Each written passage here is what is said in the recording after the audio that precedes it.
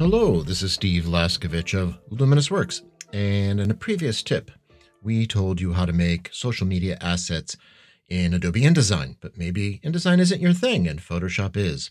Well, this tip is for you then. So I'm going to start right away here. I'm going to make a new document. I've already got the pixel dimension set for a Facebook ad or some other Facebooky image thing. And if I could name this thing, I'd be happy. So I'm going to call this new ads. Notice the plural. That's right. And to get plural, I'm going to actually check the box here for artboards. And what will that do for me? Well, like in Adobe Illustrator, uh, maybe you know that one too, uh, we can have multiple artboards. We'll see that that actually clutters up our layers panel a little bit, but we can certainly deal with that. Kind of like InDesign Pages, Let's forget about those other programs for the moment. Let's focus on this one, Photoshop. All right, so I've checked artboards. I've got 1200 by 628 pixels. Uh, for a couple of reasons, I have to use 72 pixels per inch, but that's neither here nor there. I'll hit create. But because I checked the checkbox for artboards, I can see there is indeed an artboard here. It says artboard 1. What a crappy name. So I'm going to go over to my layers panel make that a little bigger first. There we go. I'm going to go over to my layers panel, double click on the name of the artboard, and I'll call this FB uh, landscape. Since it is a landscape orientation thing. and right now I've got nothing here. I've got a blank empty layer. And I want to fill this with my stuff. Now, where can I get this stuff? Well, I can build it right here. If I, I have a gradient I want to build. Now, I could make a gradient fill layer and I can choose from, you know, about billion six different gradients and then fine tune them. But actually I built a gradient in Adobe Illustrator so I can drop it into here or InDesign or wherever. And I added that to my Creative Cloud libraries. So I'm actually going to use that this time, pull that out here. It happens to be in this aspect ratio and just about the same size. Um, we'll see what happens if it isn't, and I'll show you how to remedy that situation. So there it is. It's giving me transform handles. I like what I see, so I'll just hit enter to accept that. There are other assets I might want to add from my CC library, like I have one here. Um, no, I actually already have that as a free-floating file. Uh, maybe I'll use this one, my Save Now button. I'll drag that out here. I can put that where I like, scale it up or down as needed. I don't know if I need to yet, and I'll just drop that right there. I also have some files in a folder on my desktop. I have ways of grabbing those too.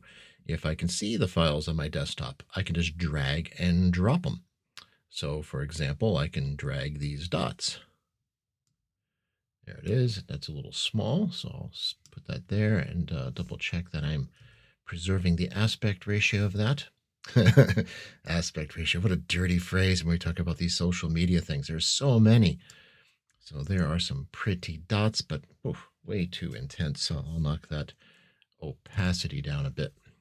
I used a shortcut. I just tapped a couple numbers real fast on my keyboard, one, two, and that gives me 12% opacity for that layer since I'm not painting. So that was quick and easy.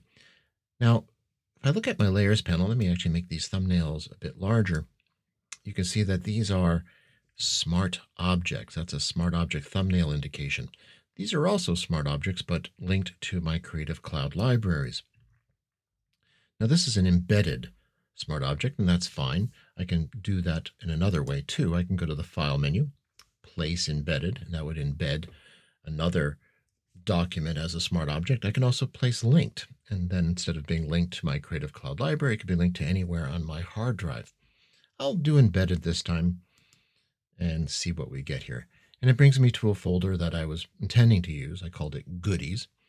And from here, I'm going to grab a couple things. I'm first going to grab this uh, 40 off, 40% off. It's an Illustrator document. There it is. And I'll put it over here for the moment. And maybe, eh, I can't decide if I want it big or not. I'll leave it as is.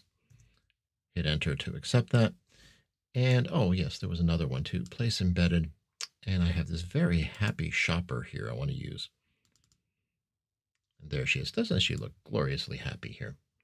I'm going to make her a bit larger. And we're holding aspect ratio, so that's good. Uh, she can come further in. Nice. I also want to put some text in here, and eh, not quite so close.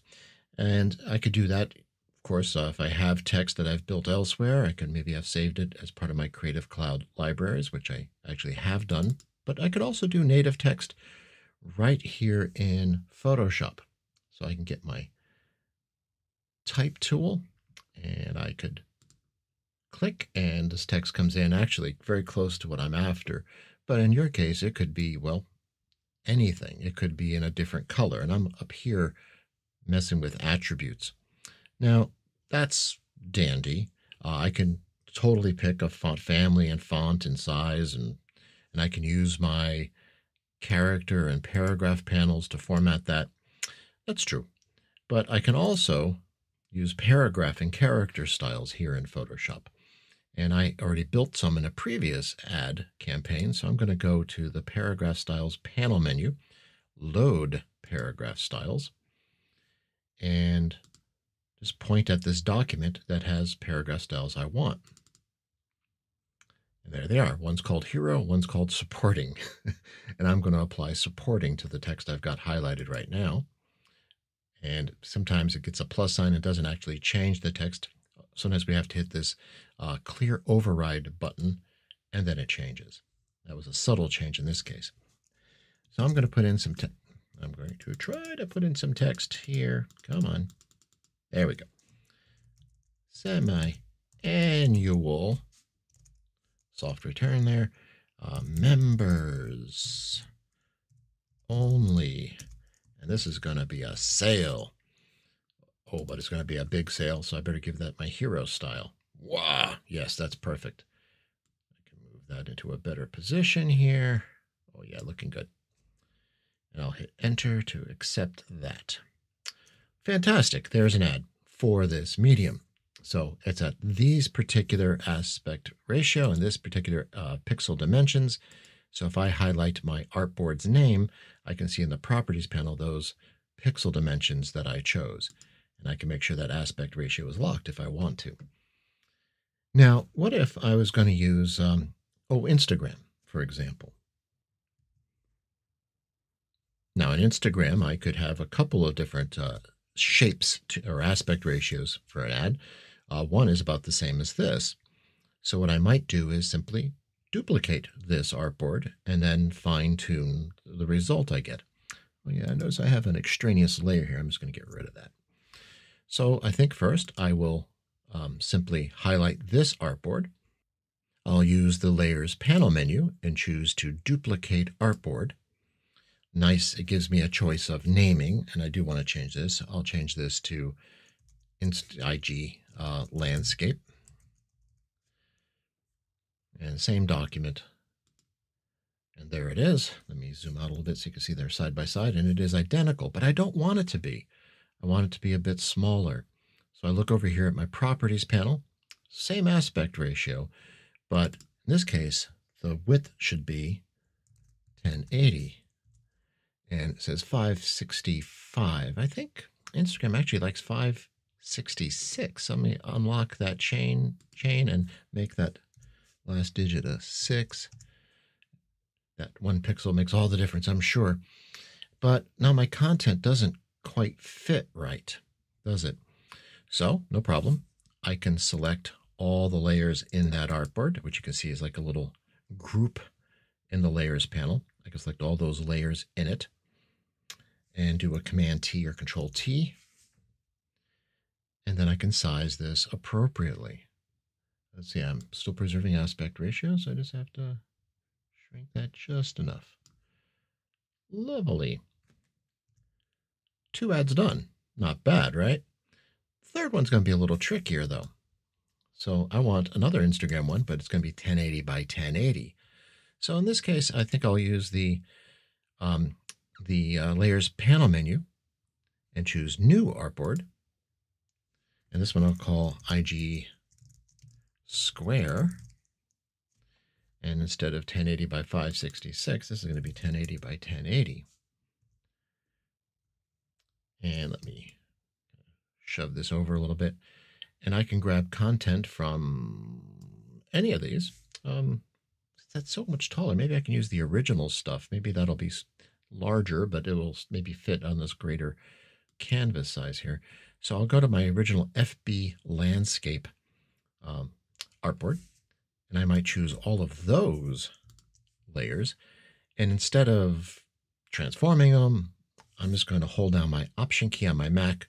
That would be Alt on Windows and drag them up to the IG Square artboard. And they all get deposited on that artboard. And then I could go about the business of fine tuning their sizes and shapes. I'm going to start with that gradient because that's an interesting case. It goes from a green in the lower left to this teal blue in the upper right. And I want it to continue to do so, but I want it to be a square. So I'm going to do a free transform, Control T or Command T, and I'm going to break the chain up here so I can freely transform this to any size and shape I want. so still goes to green to teal, lower left to upper right. And it's from Illustrator, so it's vector, so I feel pretty comfortable doing that. And then I can adjust the other content too. Maybe I'll go to my happy shopper layer and free transform her. So I'll set her down right there. Maybe scale her up a bit. But look what's happening. Uh-oh, let me escape out of there. I forgot to, when I did free transform, I forgot to lock the width and height together again so I wouldn't distort her. Now there we go. And I can fine tune her position again. There we go. Commit that. Uh, maybe move that text, text, text, text. There you are, text. Use my move tool to fine tune its position. Maybe right about there. The 40% off. And maybe that could stand to be a little bigger, huh? Control T or Command T. Scale that up a smidge. And the Save Now button. Uh, maybe I'll put it way down here. Yeah, just bring more attention to it right there. And it can maybe be a hair bigger too. So we got three aspect ratios, three different dimensions here that we can now put on the various social media platforms that we use. How? Well, we have three artboards and I need three, hmm, I guess, PNGs, JPEGs. What would you prefer? I think I'm going to go with PNG. So I'm going to go to the File menu, Export, and we have a very convenient Artboards to Files script here under Export.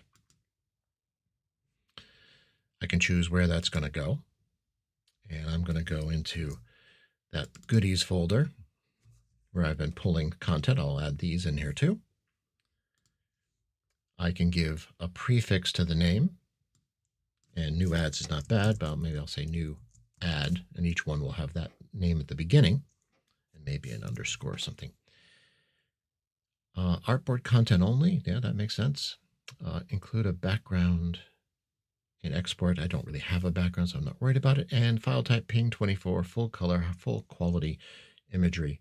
Fantastic. If you want, you can use JPEG instead and pick a quality setting. Say that should all be good. Let me hit run since it's a script. And it does some stuff that could be startling if you're staring at it. Just don't look. Ba -ba -ba. And it says Artboards to Files was successful. Let's go see. And as you can see here, I have three new documents, the PNGs, beginning with new ad, and then the name of the artboard appended to that. There's one, there's two, a little smaller, and there's the big square. Fantastic. So, Photoshop to create, well, any kind of document really that needs to be in different sizes and shapes, but using roughly the same material. Easy to do inside one Photoshop document. I hope you enjoyed. If you'd like to learn more about our classes or our books, or just want to send us a note, head on over to luminousworks.com. I'd love to talk with you. Cheers.